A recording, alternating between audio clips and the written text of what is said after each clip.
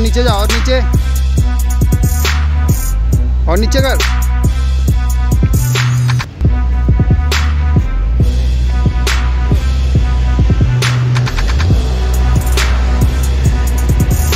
ये बंदा स्ट्रगल कर रहा है अभी भी।